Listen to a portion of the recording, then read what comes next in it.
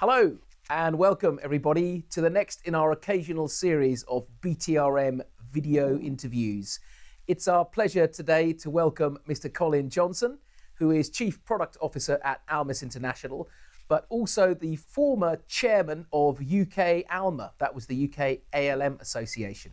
Now, Colin and I go back many years. In fact, we first got together as ALMA trainers, where we were on the ALMA committee and we used to teach a course uh, for uh, for the ALMA Association to practitioners. That was some years ago now.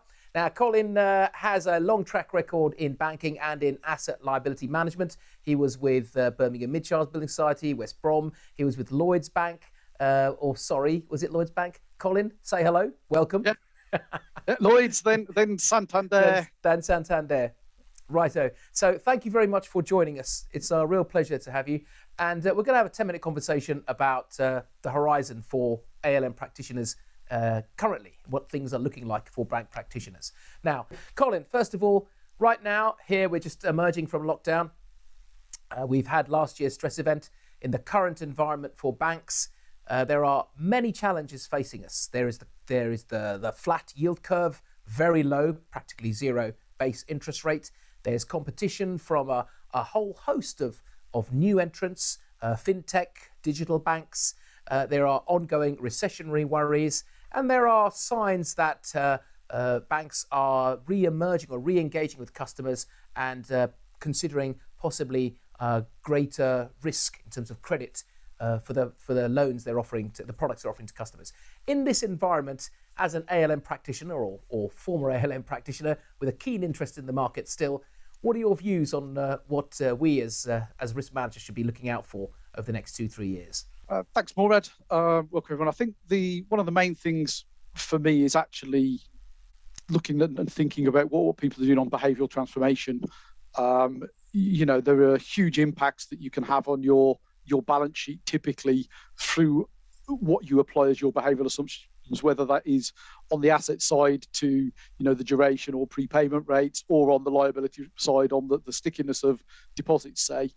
Um, both of those tend to be built off historical models, historical analysis, and you know even kind of before the, the most recent crisis, people were sort of saying, "Oh well, the, the past isn't necessarily an indication of the future," but certainly I think everyone will agree the last two years have not been normal in any way.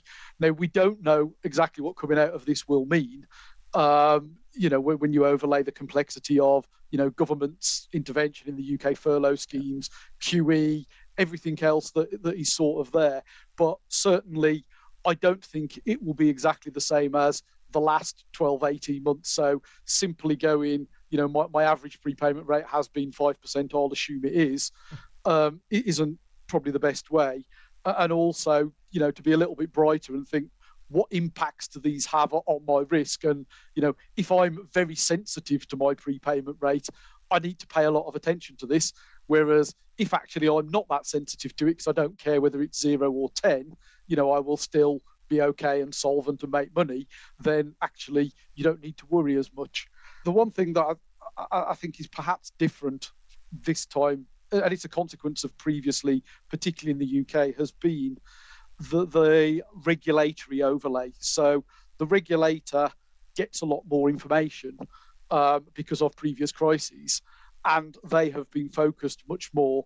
And as a consequence of that, particularly in the UK, they've made banks have in senior roles and particularly in non-exec roles people who actually understand some of these ALM risks. So previously banks might have had that done in a treasury department and it was kind of technical whereas now on your board and in your your non-exec you've got people that understand these. And i think the main thing for that is what it means.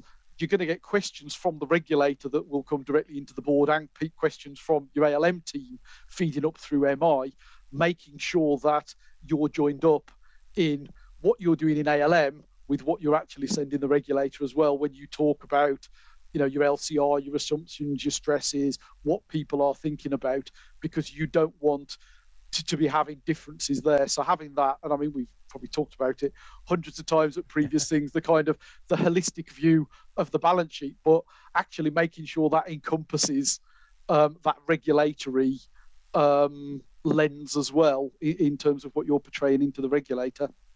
That, that's a very good point you made at the end. I mean, they were all good points, but absolutely right. The, the regulatory focus um, has resulted in a greater level of expertise in addressing these sorts of risks. So, in that respect, we've learned a lesson from the previous crash.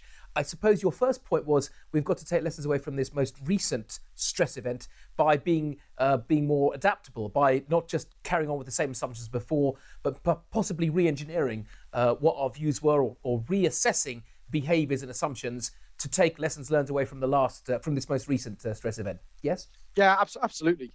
Uh, and I think he's that being flexible in terms of, do you know what? You're not always going to get it right. It's not about getting it right. Yeah. But it's actually, if you've got it wrong, being able to go, that's wrong, the world's a bit different, let's change. What does that mean?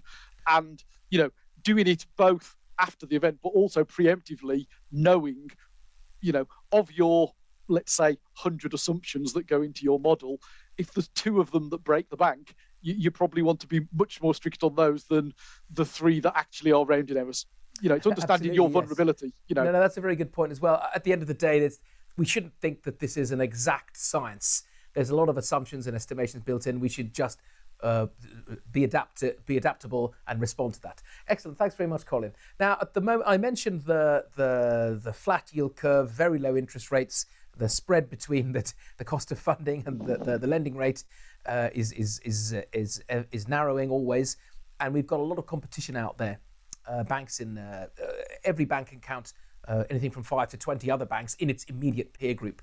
Uh, if you're an ALM manager uh, struggling, well, well, addressing the, the challenge of increasing net interest margin or preserving it, what are the sorts of things that we should look out for given we've got such a flat yield curve and such a low base rate and probably staying there for some for some time? Yeah, the, the, the yield curves I, I always think is an interesting one in that I, I don't know how many ALCOs over how many years I've heard people say, well, but rates can't go any lower, can they?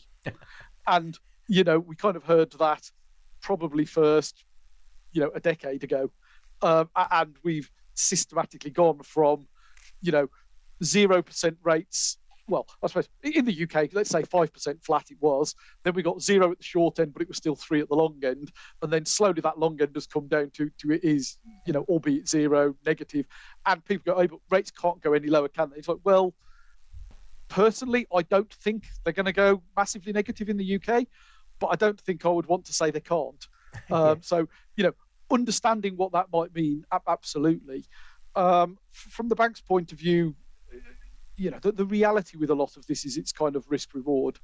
Um, you know, I think there's a danger that people see a free ride on something. Oh, you know, I'll do this, and oh, I'll, I'll diversify my liquidity into HQLA, and I'll pick up ten basis points.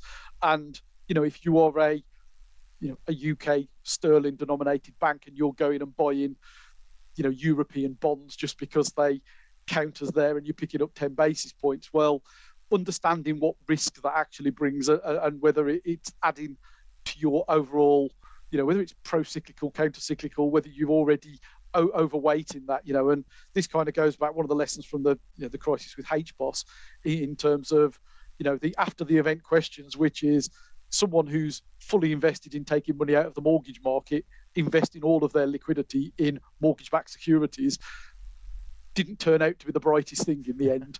Um, you, you know, and just understanding that.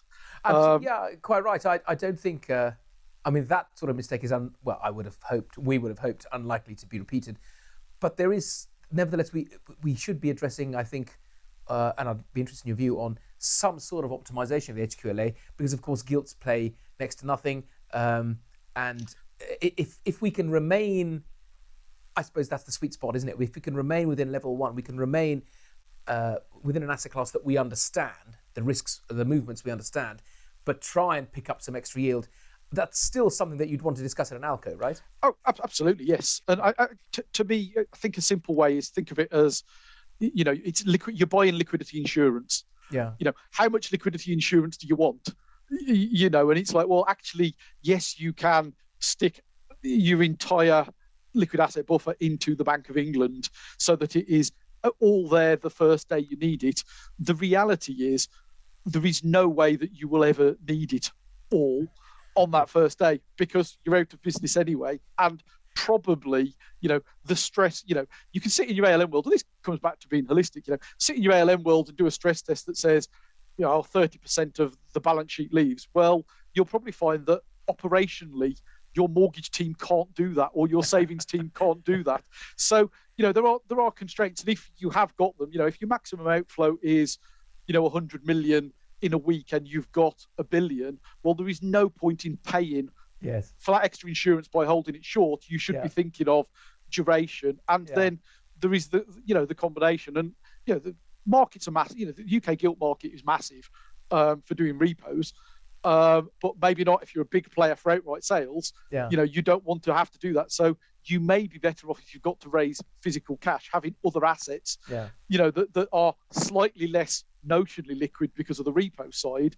But actually you know you can to raise funds you can do little bits in different markets more so than you can if you've just got you know if I, i'm just going i'm selling all my gilts you know that's a, a red sign to people potentially.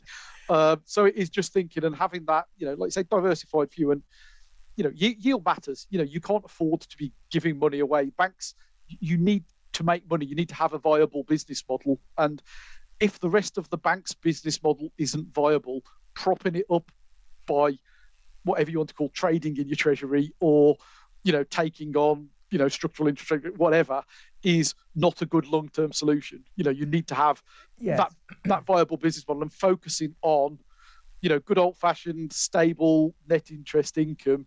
You know what are my what are my funding costs? What are my lending costs? And i i understand those and i'm pricing them in. Plus i'm pricing in the risks so that you know i, I don't you know just undercut somebody for the sake of chasing a volume target lots of good points there, and as as so often in our more than ten years uh, working together, Colin, uh, um, and hundred percent agreement. so we're not going to get a violent debate on we this. need we need an argument We'll do. We're going to reprise this video again. Thank you very much. Before I go, uh, uh, you used the expression "holistic view of the balance sheet." Uh, you and I were talking about this concept of strategic ALM, strategic asset liability management, uh, for all these years, and I still quote you uh, in in my slides, in my presentations. I still quote you.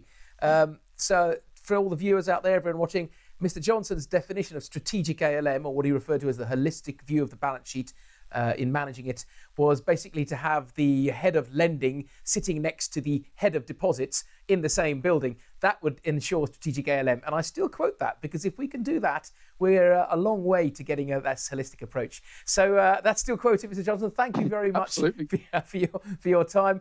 We will reprise this actually. Uh, we'll have another part two, I think, uh, to discuss these further points that you've raised. Uh, and also, we haven't discussed about interpolating the yield curve. I know that's a favourite topic for you, Colin. So thank you again. Thank you, everybody, for listening. Uh, my thanks to Colin Johnson, Chief Product Officer at Almis and former Chairman of UK Alma Association. Uh, I'm Moorad Choudhry. It's been a BTRM video interview, and we will see you again soon. Thanks very much and take care. Bye bye.